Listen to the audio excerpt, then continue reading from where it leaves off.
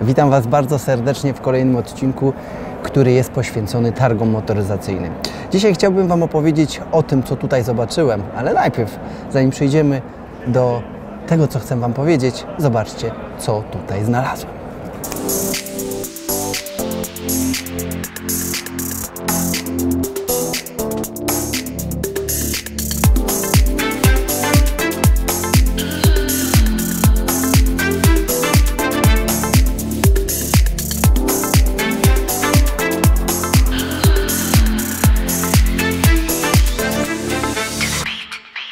Dzisiaj jestem na targach motoryzacyjnych i muszę Wam przyznać, że już za mną, a tak dokładnie za nami, bo jestem tu z Martyną, e, jest drugi dzień zwiedzania. Jest tutaj mnóstwo samochodów, mnóstwo wystawców. Jest ponad 800 chyba bodajże wystawców, którzy przywieźli swoje samochody, swoje, prezentują swoje usługi części, e, maszyny i różne rzeczy, które można tutaj do samochodu swego kupić, czy też znaleźć, czy wymienić kontakt itd. Tak itd. Tak Dzisiaj do zwiedzenia mamy, słuchajcie, 13 hal. Jest to mapka, po której się poruszaliśmy, ponieważ czasami ciężko było odnaleźć się, gdzie jesteś. Ale do rzeczy. Na dużą uwagę zasługuje fakt, że jest naprawdę dosyć dużo samochodów. I ja, jeżeli nosisz się zamiarem przyjazdu i odwiedzenia tego typu e, targów, no to do wyboru mamy tak naprawdę trzy rodzaje.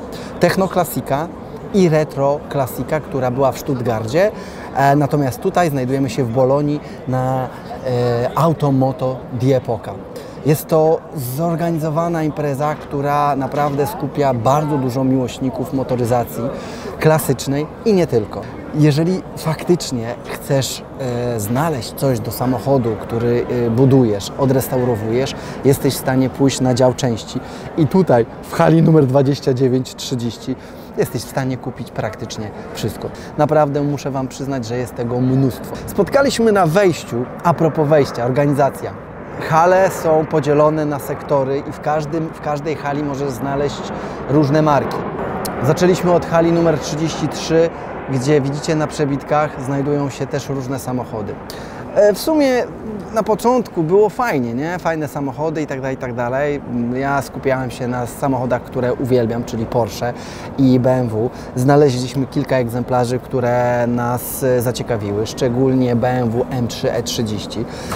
Kwoty akurat tam nie były podane, ale gdzieś w granicach 70-80 tysięcy euro trzeba zapłacić za taki właśnie egzemplarz. Tutaj jest tyle tego wszystkiego, że w ciągu jednego dnia jest ciężko przejść. Z hali do hali przechodzisz i już myślisz, że widziałeś wszystko, wchodzisz do kolejnej hali, a tam już jest w ogóle, tam już jest w ogóle co innego. E, na stoisku tutaj obok znaleźliśmy mm, Pagani Zondę, Hure i e, zrobiliśmy kilka fajnych ujęć. Byliśmy też e, w McLarenie, gdzie pozwolono mi usiąść do nowego McLarena, e, który nosi teraz w tej chwili nazwę Artura. Arturo, Artura.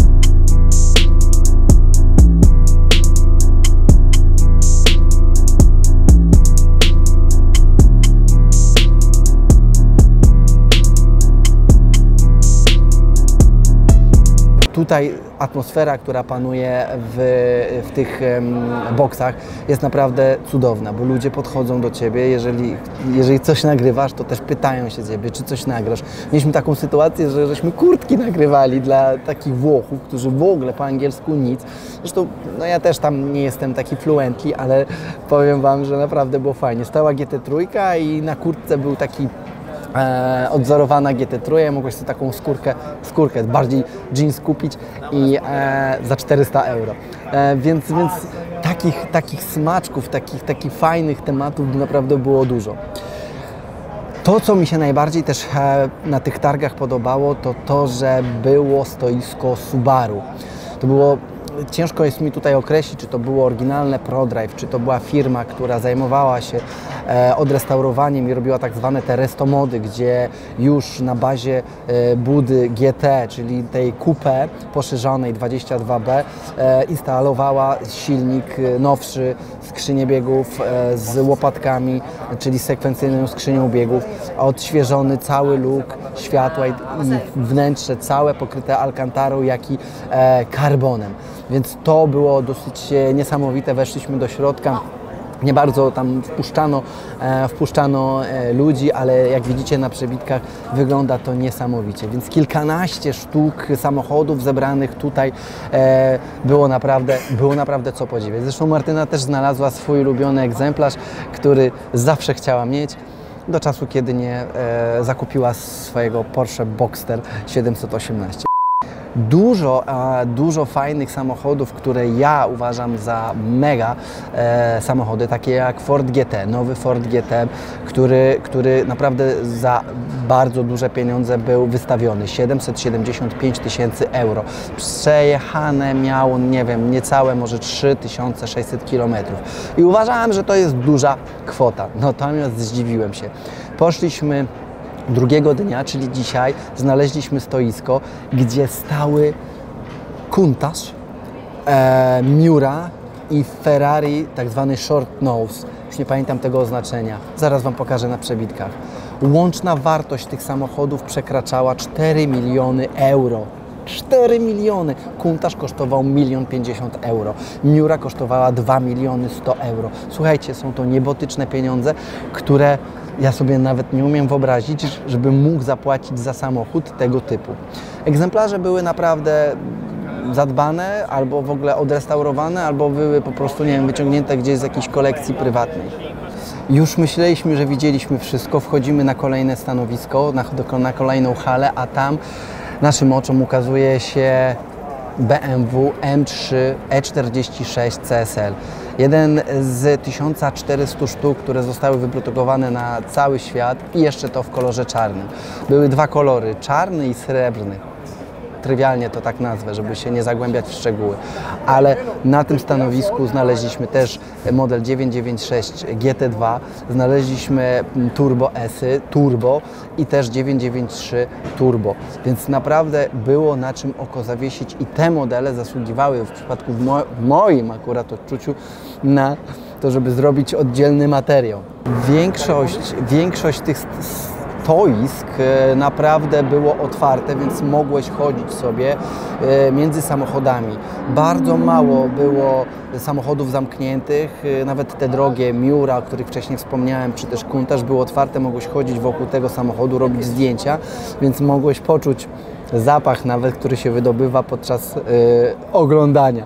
Naprawdę muszę przyznać, że kolejne, kolejne stanowiska, które odwiedzaliśmy.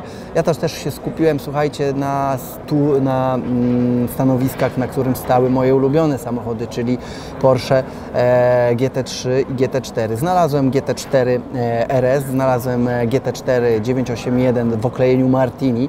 Bardzo, bardzo, bardzo mi się to podoba. Natomiast dużo było GT3 i były też segmenty tych trójek, e, GT3, które był GT3 RS najnowszy, były poprzednie modele, e, były, były model 997 z 4-litrowym silnikiem, to były i z klatką i z całym tym e, body, które jest wypuszczane wraz z tym, że wychodzi taka wersja RS.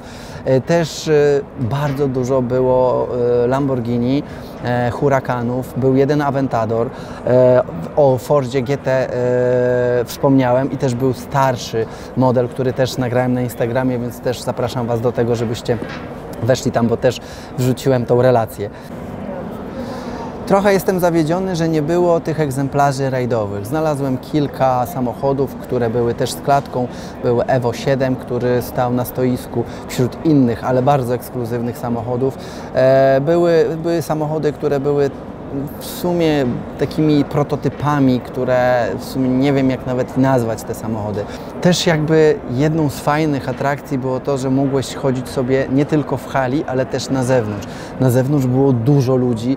E, dzisiaj i wczoraj była mega pogoda, gdzie jedzenie, piwko, winko, kawa, ciastka itd., tak itd. Tak I wśród tego wszystkiego stały samochody, które mogłeś też kupić. Były stanowiska, które były poświęcone tylko Alfie Romeo, całej Włoszczyźnie stanowiska, gdzie mogłeś znaleźć same Porszaki, o których już wcześniej mówiłem. Były kilka, było kilkanaście samochodów typu GT3, też w towarzystwie e, takich samochodów jak Lamborghini czy też e, Ferrari. Także większość tego materiału e, znaczy ten, nie chciałem kręcić tego materiału w taki sposób, żebym Wam opowiadał i tworzył godzinny czy dwugodzinny materiał, czy też trzy części z tego robić, bo tak naprawdę nikt nie ma czasu na to, żeby siedzieć i oglądać poszczególne samochody. Uważam, że najlepszym rozwiązaniem było przyjechać tutaj i to wszystko samemu na żywo przeżyć. Moim zdaniem te targi, na którym się teraz obecnie znajduję, są największe.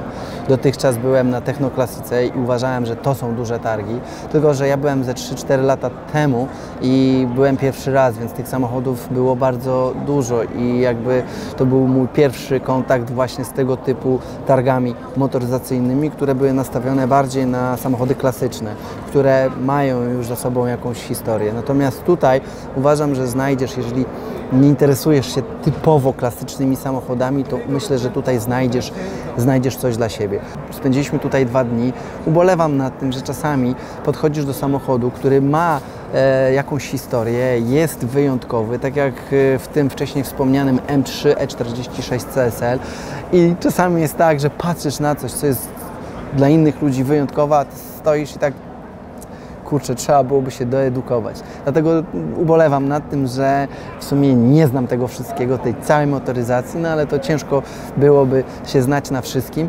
E, bardziej się staram specjalizować, czy też interesować tym, co mnie najbardziej interesuje, czyli Porsche, e, historyczne samochody, czy starsze samochody, już tak od 964, 993. I 964 mało było tych modeli, jak już mówimy o tych samochodach, ale GT3, 996, 4S było naprawdę mnóstwo, więc uważam, że jest to, jest co oglądać.